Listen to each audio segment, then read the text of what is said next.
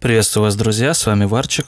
Заметил по статистике, что некоторые из вас пропускают заставку, либо не досматривают ее, поэтому решил ее сократить и сделал два варианта. Первый вариант – заставка в два раза короче, всего 3 секунды. Второй вариант – она вообще прозрачная, накладывается сразу на видео, и видос можно начинать прям сходу. Напишите в комментариях, какой вам вариант больше нравится. В начале видео 3 секунды заставка, и потом я начинаю видос сразу с основных новостей – или еще быстрее, даже без трех секунд с прозрачной заставкой. Под этим видео разыгрывать золото не буду, поскольку новости буду рассматривать World of Tanks из EU, Wargaming. Хочет ли это тут золото разыгрывать или нет, я не знаю, поэтому просто не буду, да и все. В следующих видосах, где новости Лесты будут, там мы разыграем еще. Итак, в этом видео будем рассматривать новости. Что нас ждет в этом году?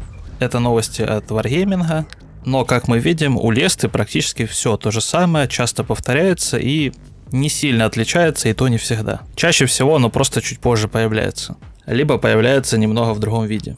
Итак, первое, что хочется показать, это из режима «Шквальный огонь» автопушки, а именно автопушки у арты. И это прям уже какие-то реактивные системы залпового огня. Выглядит прям вообще капец. Если кто-то когда-то прикалывался и шутил, что такую бы арту сделали, вот это было бы весело. Но кто-то подумал, что это не шутка и реально сделал. В этом развлекательном режиме, как говорится в новости, шквальный огонь с автопушками еще и добавили автопушку для арты. Также еще говорится то, что режим шквальный огонь с автопушками это не предвестник того, что они появятся в игре, но насколько я слышал, в начале следующего года они вроде как появятся в игре. Может быть передумали, либо просто какую-то смуту наводят. Очень интересно почитать ваши комментарии, что вы думаете про такую артиллерию. Мне кажется, вот этого точно нам не хватает. Каждый раз думаешь, куда хуже уже игра может скатиться, и потом ты видишь вот это и думаешь, ну, в принципе, еще есть куда шагнуть. Дальше новости про режим Вафентрагера, то, что там будут какие-то новый танчик или еще что-то, в целом пофигу. Выйдет режим, тогда и посмотрим, поиграем. Также еще режим мирный 13, и туда добавили еще на каждую стадию по мини-боссу. Но название для них пока что не придумали. Опять же, это выйдет, поиграем. Будет оно только на Европе или у нас тоже будет, посмотрим. Ну, тут, наверное, будет зависеть от того, нужно ли разработчикам лутбоксы еще раз продать или нет. Следующая новость про случайные события в случайных боях. Это такие вот вещи, которые происходят случайно во время боя могут произойти, могут не произойти в какой-то там рандомный период времени для того, чтобы изменить структуру карты. Случайное событие происходит. Оно было сделано таким образом, что показывается большой круг. Если ты внутри него, ты просто умираешь во время этого события.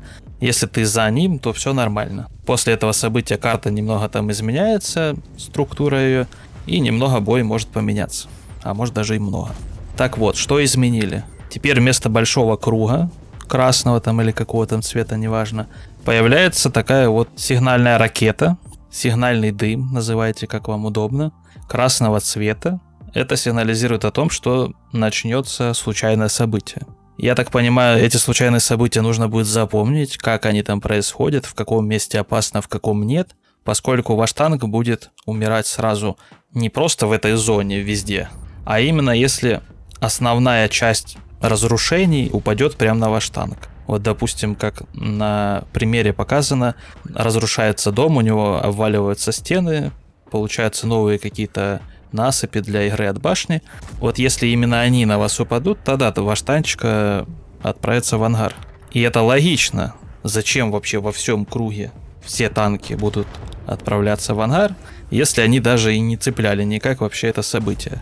Это максимально глупо выглядело, и этот вариант смотрится логичнее, и больше танков выживет. Также еще присутствует какой-то элемент опытности, если ты знаешь, где оно ломается, где стоит стоять, где не стоит. Это как-то пологичнее выглядит. Ну и также говорится, что к концу года оно уже появится в случайных боях на Европе, у Wargaming.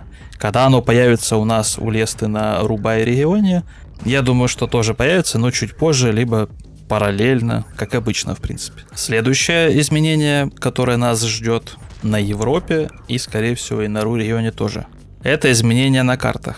Вроде как рассказывали, что осенью оно будет. И я так понимаю, тут некоторые карты уже готовы, а некоторые еще разработчики только поняли, что там надо что-то поделать. Хотя я вот эти все карты играю часто, много, видел их миллион раз. И я еще во время того, как прошлое изменение выходил, я уже видел косяки и думал, неужели заранее непонятно, что это плохо переделанная карта, и ее придется еще раз переделывать, и они по второму, по третьему кругу одни и те же карты переделывают.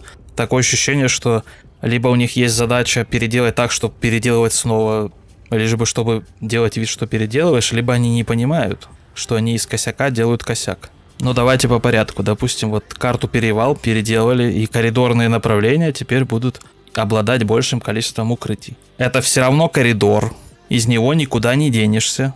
Но теперь, может быть, чаще можно будет уехать хотя бы назад, если будет опасность. И больше укрытий позволит большему количеству танчиков здесь играть, а не просто стоять как попало и умирать. Хорошо это или плохо? Конечно, это хорошо, но до идеала там еще далеко поскольку это все равно коридор. Просто в коридор булыжников накидали. Также на центре, на перекатке сделали меньше прострелов благодаря тем же самым булыжникам огромным. Теперь большее количество танчиков захочет ехать вокруг, на фланг и играть в игру. И мне кажется, что основное направление теперь изменится с ледника на противоположный фланг. А на ледник будут ездить в основном самые-самые-самые толстые танки, которым просто лень ехать вдаль. Избавится ли карта от турбобоев? Конечно же нет, если на новое основное направление ваша команда не поедет, то ее скорее всего снесут, поскольку благодаря большему количеству укрытий им легче будет доехать до вашей базы и сразу ее либо захватить, либо пронести аж до другого фланга. Поэтому карта типа станет лучше, но если ваша команда захочет на баске постоять или не играть один фланг, то а, ваша команда будет обречена точно так же, как и на многих других картах. Там точно такой же сценарий разыгрывается постоянно, поскольку почти все карты э, в мире танков, World of Tanks, они состоят в основном из двух направлений основных. И как только одно из них не играется командой, то скорее всего она проносится за пару минут. Чтобы такого не было, нужно сделать перед базой нормальные позиции для того, чтобы хотя бы на базе люди, которые остались, могли там зажить, они их снесли за секунды. Также еще кто обратил внимание, насколько переделали балкончик возле ямы. Там практически вообще все голое, один камень остался и все. Из-за чего люди не захотят на нем вообще находиться, поскольку там просто вообще голяк. И фланг будут просто разыгрывать быстрее, не задерживаясь на балкончике, играть друг против друга, и это явно бой не замедлит. Следующее изменение на карте студянки. Там был дисбалансный завод, в этом видео рассказывается, что улучшить левую базу, там так далее. Еще при создании карты можно было своим мозгом подумать, что респ, у которого не хватает одной стены, а с другой стороны здание в два раза ниже, еще и с дырявыми стенами, оно будет умирать здесь и не сможет выживать. Это было понятно еще до того, как оно вышло на релиз. Я не верю, что такое можно выпустить случайно, по незнанию. Это, ну, скорее всего, на мой взгляд, специально сделали одну сторону дисбалансной, слабой. Я не знаю, как можно случайно сделать дом в два раза ниже, а с другой стороны вообще стену не поставить. Случайно просто, ну вот. Также на студянках еще канаву переделывают. Теперь в ней сражения будут происходить более удобные, и сражаться мы будем еще за въезд в яму, позиционные перестрелочки, и только потом можно будет в нее заехать, когда уже кто-то выиграет. Это изменение, наверное, одно из самых адекватных, поскольку просто падать на бум в канаву без инфы, это, конечно, вообще круто. Также какие-то там минорные такие изменения на карте Устричный залив, немножко балкончики подправили и все. Что мы из глобальных изменений здесь заметили? Всего лишь две карты. И все. У нас в игре 42 карты, и две из них просто сделали ну, перевал, допустим, сделали очень похожим на большинство других карт. Она будет играться практически точно так же, как и все остальные карты. Вы даже отличия особо не заметите, только текстурки другие. Ну и на тяжелых танках, конечно, на перевале будет легче играться. Но пока вы там на тяжелом танке играетесь, другой противоположный фланг теперь станет более актуальным. И кто его быстро снесет, тот быстро и выиграет. Единственный вот Студянки намного лучше станут, поскольку завод вроде как больше, и фланг для СТ тоже поинтересней. Но насколько оно там сбалансировано, вообще неизвестно. Это все. Сильно ли мы заметим эти изменения в игре? Ну, когда у вас карты будут повторяться именно эти несколько дней подряд, да, вы изменения заметите. Во все остальные дни, когда другие карты будут повторяться, вы вообще ничего не заметите. Но эти изменения в целом хорошие, но мало, маловато. Маловато понимает. Маловато будет. Хочешь как хочешь, а маловато. Также разработчики думают, что изменять еще нужно рыбацкую бухту. На мой взгляд, рыбацкая бухта более-менее сейчас нормально играется. Но немножко что-то в городе, вот эта небольшая гавань посередине города, она какая-то лишняя.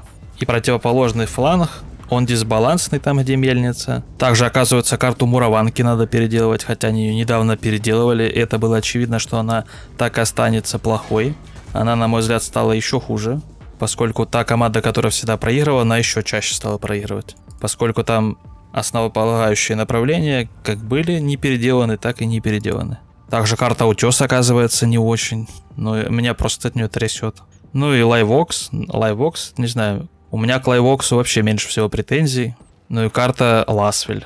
Ласвилль в городе дисбалансный, ну и все. Также карта Энск. К Энску вопросов много, поскольку он супер маленький и играется сильно быстро. Ну и линия Зигфрида это просто набор кучек, это просто даже играть не хочется. Вот такие вот изменения на картах. Также еще изменения с экипажем. Рассказали, что не будет 50% экипажей, там красных экипажей и так далее. Будет только 100% экипаж, а если у вас там какой-то опыт был, то он вам в этот экипаж же и пойдет, никуда он не пропадет. Также штрафов за выезд на красном экипаже никакого не будет, поскольку вы на красном экипаже не сможете никуда ехать. Но также экипаж еще и сможет запоминать несколько танков, на которых он там может играть. В целом, вот такие изменения вроде как адекватные. Нефиг на красных экипажах кататься в рандоме, ну и опыт ваш никуда не пропадет. Все нормально. В принципе, вот все изменения, которые нас ждут на Европе у Wargaming. Скорее всего, почти то же самое, все и у Лесты будет, возможно, с какими-то изменениями, возможно, позже, возможно, в каком-то своем видении разработчиков Лесты. Пишите свое мнение в комментариях, с вами был Варчик, играйте красиво, подписывайтесь, ставьте лайки, всем удачи, пока.